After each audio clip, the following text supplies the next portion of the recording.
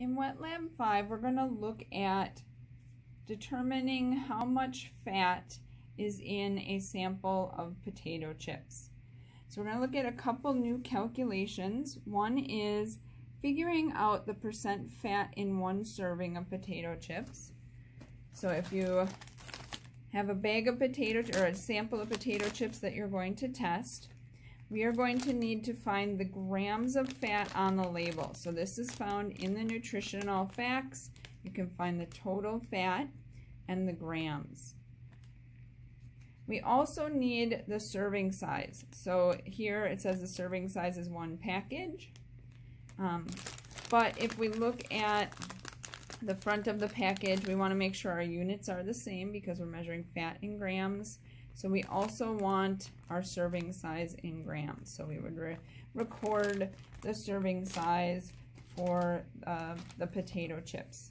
And we have to multiply by 100 to get it into a percentage. We're also going to be looking at a percent error. So we're going to be taking some measurements. Um, we, through calculating the percent fat, that's going to be our theoretical value, and we're going to compare the two. So experimental is through the course of our experimentation, how much fat did we find? The theoretical value is from the package. Okay, what is the percent fat, um, what that should be. So in order to calculate our percent error, we're comparing that experimental value subtracting the theoretical value from the package, dividing by that theoretical value times 100%. And so this can give us lots of information about um, how accurate our experimental results are. So we are going to be looking at two different ways in order to remove fat from the potato chips. Okay. One we cannot safely do at home because it requires the use of a non-polar solvent called petroleum ether. And so in the lab, we can use petroleum ether, non-polar. It um, dissolves the fat away from the potato chips and we can remove that fat. So there is a video that follows the procedure provided for you in order to compare this method to the one you're going to be doing at home. So watch that video. You can record the data that is collected on the observations and data sheet. So you'll be using part A and part B.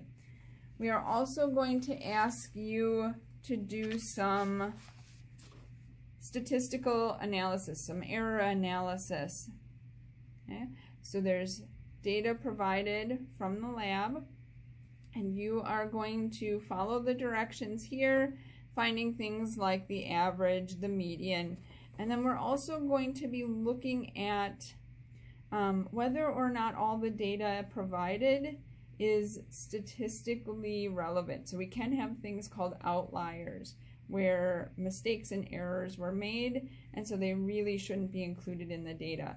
So follow through the directions that are provided in order to determine um, if there are any outliers in the data.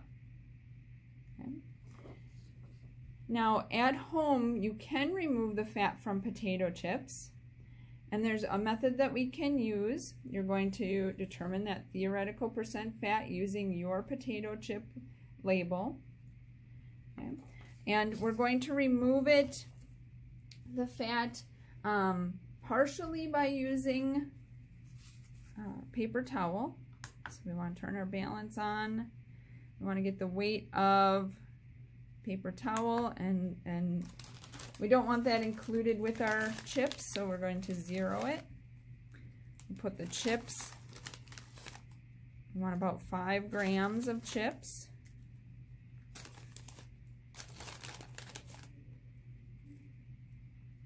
Okay, so we want to make sure we record the exact amount. It gets us a little closer. Okay, and then we're going to take the potato chips and crush them inside the paper towel. Now as we do that, you may start to see some of the oil being removed onto the paper towel, which is what our goal is. Okay.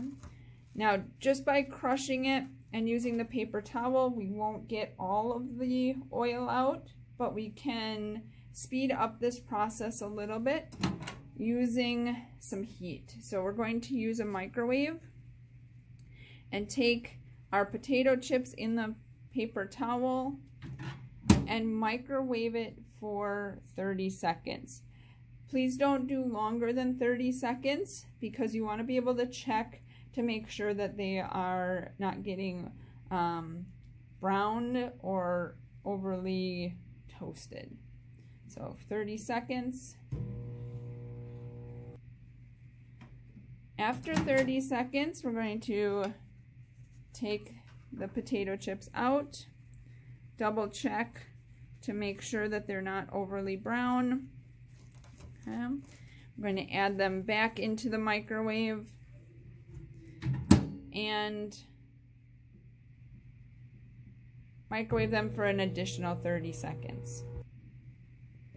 After the 30 seconds, the second 30 seconds are up, we're going to remove the potato chips. Again, double checking to make sure that they're not um, getting too brown or burnt. We're going to transfer those potato chips from that first piece of paper towel that we can see has removed some of the fat. We're going to transfer them to a second piece of paper towel. Crush them a little bit more and we're going to microwave them again. So think about as you're doing this how this relates to that video and the petroleum ether extraction. Again, we're going to microwave this for 30 seconds.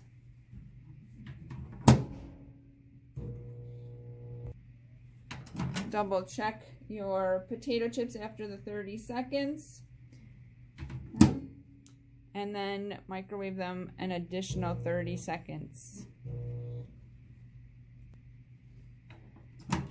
After the two heatings for 30 seconds on our second piece of paper towel, we're going to transfer them to a third clean piece of paper towel. Crush them a little bit more. and follow the same procedure. So an additional 30 seconds in the microwave. Double check the potato chips, make sure they're not too brown, and we're going to microwave them a final 30 seconds.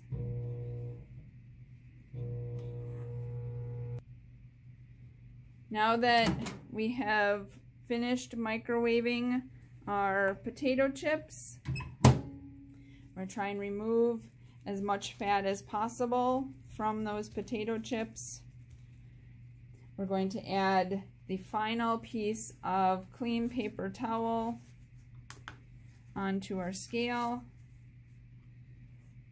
Make sure that we zero the weight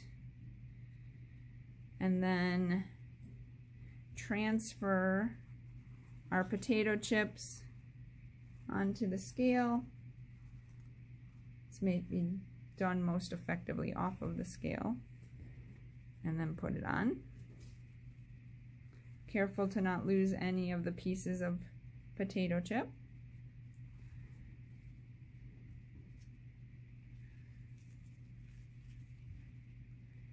And then record the final mass of your potato chips after the heating. From that, the difference in mass is going to be the amount of fat that was removed from your potato chips. Once you have all of your numbers recorded, you can uh, clean up the potato chips and paper towel can go in the garbage. Make sure um, that you've been wearing your goggles this whole time. And so then once everything's cleaned up, you can take those off. And then do the calculations for this lab in Excel. If you do have any questions throughout the course or if at any point you don't feel safe, um, please don't hesitate to contact me and um, let me know what questions that you have. Thank you for your work on this lab.